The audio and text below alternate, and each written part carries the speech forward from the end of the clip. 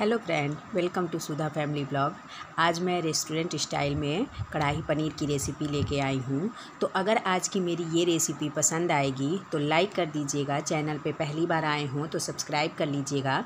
साथ में bell icon के बटन को प्रेस कर दीजिएगा, ताकि कोई भी वीडियो डालूँ तो उसका नोटिफिकेशन तुरंत आपको मिल जाए। और एक बार इस तरह से बनाकर ज़रूर ट्राई करिएगा, बहुत पसंद आएगा आपको। तो चलिए फिर बनाना शुरू करते हैं। कढ़ाई पनीर बनाने के लिए पहले थोड़ा सा तेल लेके, आप चाहे तो रिफ़ाइंड ऑयल लें, मैं सरसों का तेल यूज़ कर रही हूँ। पनीर को हल्का ब्राउन भून लेंगे।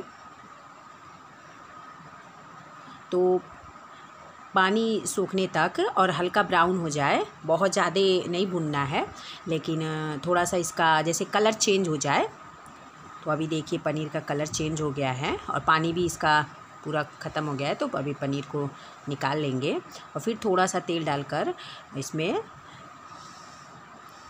शिमला मिर्च, हल्का ब्राउन कर लेंगे इसको भी। तो स्क्वायर शेप में काटे हैं शिमला मिर्च, और इसी शेप में प्याज को भी काटना है। तो अभी देखिए हल्का ब्राउन हो गया शिमला मिर्च तो इसको भी निकालेंगे और अभी तेल बचा हुआ है इसी तेल में, फिर प्याज को भी, ये भी स्क्वायर शेप में काटे हैं तो इसको भी हल्का भून लेंगे। तो इसमें प्याज और शिमला मिर्च का मेन रहता है।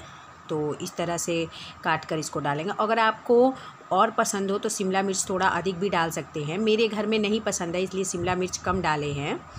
और अभी थोड़ा सा तेल डाल दिए हैं और तेल गर्म हो गया है तो इसमें जीरा डालकर और प्याज। तो प्याज अभी मोटा मोटा काटे हैं, क्योंकि इसको भून कर फिर पीसना है। तो प्याज को हल्का भून लेंगे और इसी में अदरक, लहसुन का पेस्ट और हरा मिर्चा पीसे हैं। आप चाहे तो लाल मिर्चा डालें। तो मैं लाल मिर्चा का यूज़ कम करती हूँ। तो लहसुन और अदरक में ही हरा मिर्चा पीस ली हूँ। तभी प्याज को हल्का ब्राउन करके और एक चम्मच गरम मसाला डाले हैं। आप चाहे तो खड़ा मसाला भी डाल सकते हैं। तो मैं खड़ा मसाले का यूज़ नहीं करती तो इसलिए एक चम्मच गरम मसाला डाल दी हूँ। हल्का सा इसको भून लेंगे। अभी देखिए प्याज अच्छे से भून गया है। तो फिर इसमें टमाटर डाल देंगे और टमाटर को सॉफ़्ट होने तक पका लेंगे। तो सॉफ़्ट होने के लिए नमक डाल दीजिए तो जल्दी से सॉफ़्ट हो जाता है। तो अभी नम, टमाटर पक गया है। तो हल्का इससे पलटे से दबा लेंगे इसको। और फिर इसको गैस बंद करके ठंडा होने देंगे और ठंडा होने के बाद बारीक पीस लेंगे और अगर नहीं बारीक पीसता है तो फिर छन्नी से छान लेंगे, छान के। इसका पेस्ट बिल्कुल स्मूथ रहता है। तो अभी ठंडा होने देंगे और प्याज का पेस्ट बना लिए हैं तो तेल डाल दिए हैं और चटपत्ता थोड़ा सा हल्दी पाउडर और थोड़ा सा धनिया पाउडर डाले हैं। और ये कश्मीरी लाल मिर्च है तो ये तीखा नहीं होता, बस कलर के लिए रहता है। और इसमें ये पेस्ट डाल देंगे। और पेस्ट बिल्कुल स्मूथ रहना चाहिए, उसमें कोई भी गांठ नहीं होना चाहिए। अगर आपका स्मूथ नहीं है तो छन्नी से छान ले। देखिए कितना स्मूथ है। तो अभी इसको भून लेंगे। वैसे तो हल्का भुना हुआ है तो बहुत ज़्यादा मसाला भूनने की ज़रूरत नहीं रहती है। और हल्का भुनने के बाद इसमें से चटपत्ता निकाल देंगे, क्योंकि इसमें कुछ भी खड़ा चीज़ अच्छा नहीं लगता है। फिर मलाई डाल के अच्छे से मलाई मिला लेंगे।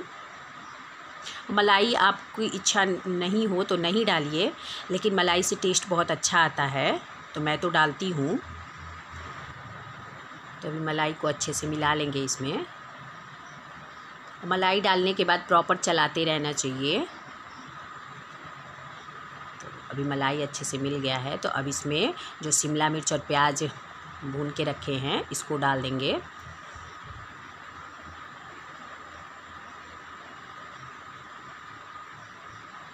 और इसमें पानी नहीं पड़ता ज़्यादा, इसकी ग्रेवी बहुत गाढ़ी रहती है तो अभी ढक कर थोड़ा देर शिमला मिर्च और प्याज को पका लेंगे। दो मिनट तक, और दो मिनट पकाने के बाद देखिए, तेल छोड़ने लगा है तो इसमें एक चम्मच मीट मसाला डालेंगे। और आप चाहें तो मीट मसाला नहीं डाल रहे हैं तो गरम मसाला डालें। मसाला इसमें बहुत ज़्यादा नहीं जाता और ये है कसूरी मेथी। तो थोड़ा सा कसूरी मेथी डाल दिए। और कसूरी मेथी से भी बहुत अच्छा टेस्ट आता है। तभी इसको अच्छे से मिलाकर और फिर इसमें पनीर डाल देंगे। और पनीर डालकर भी दो मिनट ढककर पका लेंगे। और बस दो मिनट पकाने के बाद सब्ज़ी बनकर रेडी हो जाएगा। तो अभी देखिए कितना कलर अच्छा आया है और देखने में कितना टेस्टी लग रहा है। तो सब अच्छे से मिलने के बाद इसमें थोड़ा सा नमक डालेंगे क्योंकि नमक, प्याज और टमाटर भूनते समय भी डाले हैं तो नमक इसमें ज़्यादा नहीं डालना है। और अभी दो मिनट तक और पकने देंगे।